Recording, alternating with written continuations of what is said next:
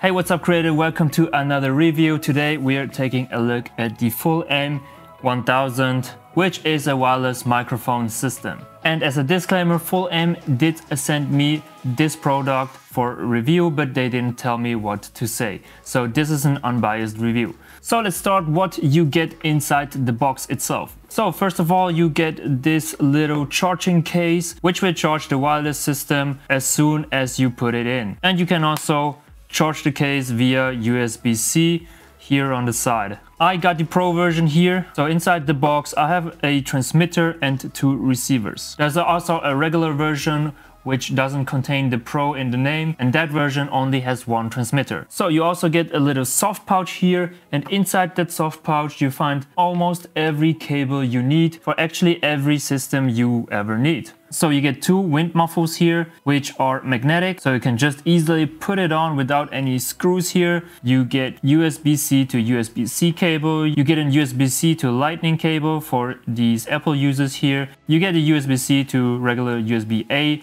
cable for computer using and you get two lavalier microphones. So yeah, that's a bunch of accessories you get in the box. And looking at the form factor, you probably think somehow I recognize this form factor. And yes, the Rode Wireless Go 2 look almost exactly the same, at least the transmitters do. So here's a little side-by-side -side comparison. These two transmitters look almost the same in terms of form factor and functions. They both have a USB-C connection also a microphone input, a integrated microphone itself, and two light indicators, if they're connected and also if they are powered on or not. But with the Rode Wireless Go version, you get a lot less accessories. So out of the box, you only get one Dead Cat wind muffin, which you also have to screw on, which can be a little bit difficult sometimes. You also only get one input cable for the receiver to the camera and that's actually it. So I had to purchase this lavalier mic separately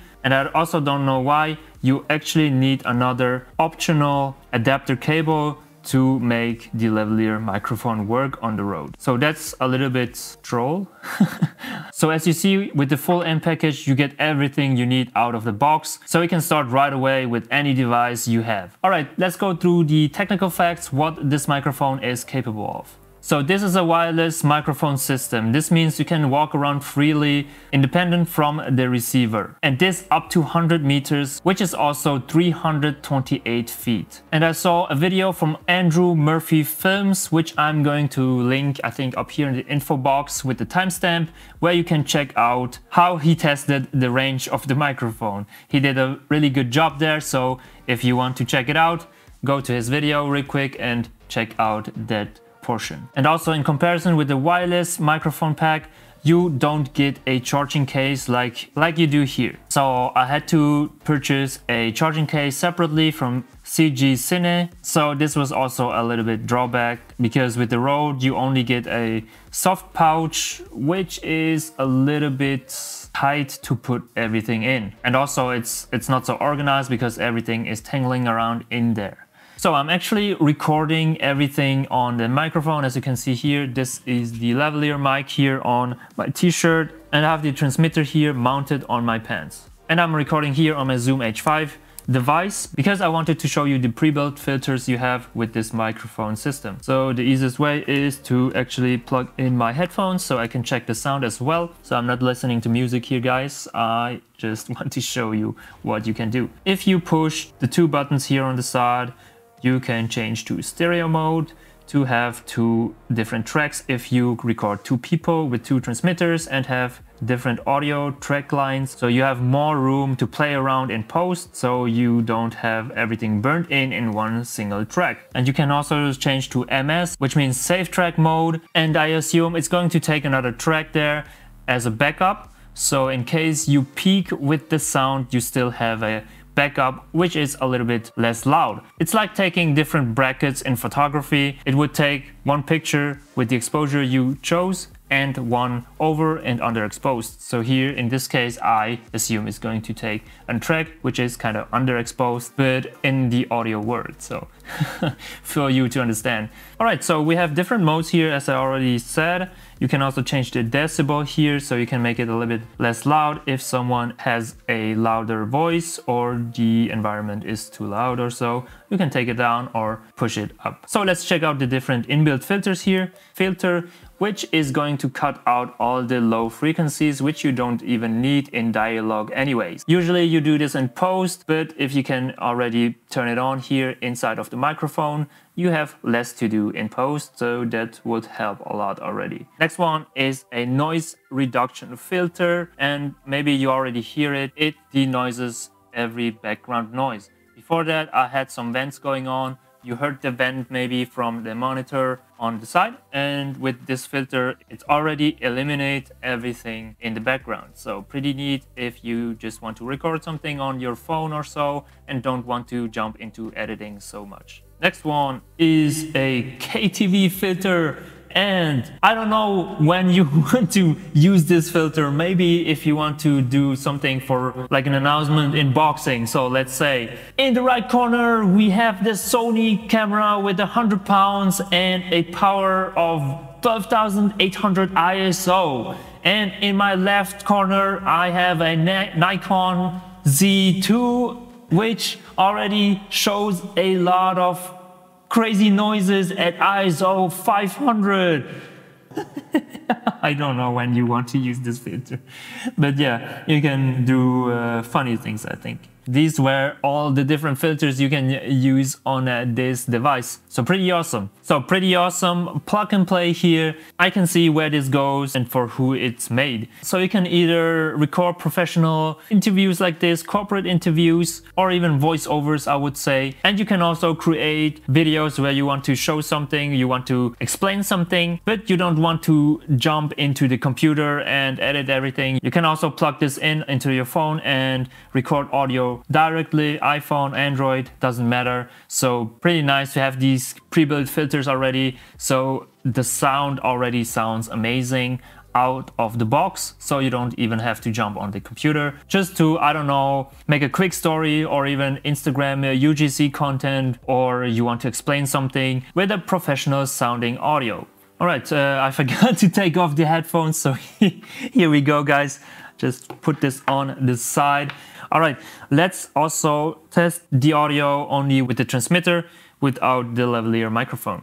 Because in here it's not even windy, uh, it doesn't make sense to put it on, but just for sake, I'm going to record like this, this out really quick. So now it's on. So at the time I record this video, the Fulaim 1000 Pro comes in at the price point at $209.99 but I'm going to link it down below so you can check it out. And the regular version with only one transmitter comes in at the price point of $159.99. I'm gonna link both versions down below in the description so you can check it out. So the total runtime of these microphones is about 7 hours. I didn't test it because I didn't need to record something for 7 hours. But as soon as you run out of batteries, you can just put it in this charging case which will charge the microphones fully two times in about two hours. That means you have like 21 hours in total runtime on these microphones. So pretty long lasting if you don't have any chance to charge your microphones. So you can use this microphone system for your TikTok videos, for your YouTube videos, for interviewing, for vlogging, almost for everything actually, even for Zoom calls to level up your audio quality. But here are still some cons which I didn't like so much, I would say. Um, let's say in comparison with the Rode microphones.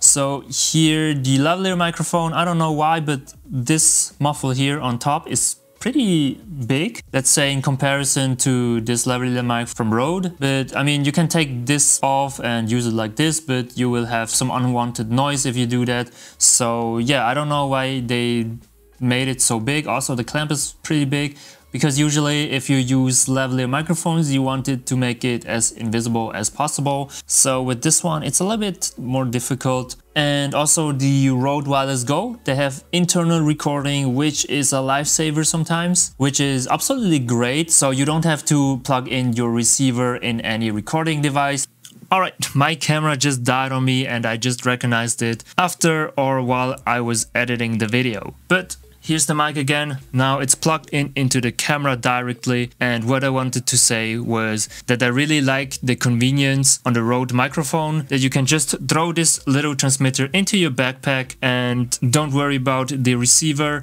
and just record your audio that way. But the people over at Fulaim told me that they are working on a new microphone set with internal recording. So that's great. They probably heard about this problem or this convenience point. So they are improving themselves for the next generation. But yeah, that's just a nice to have luxury you can have with your microphones.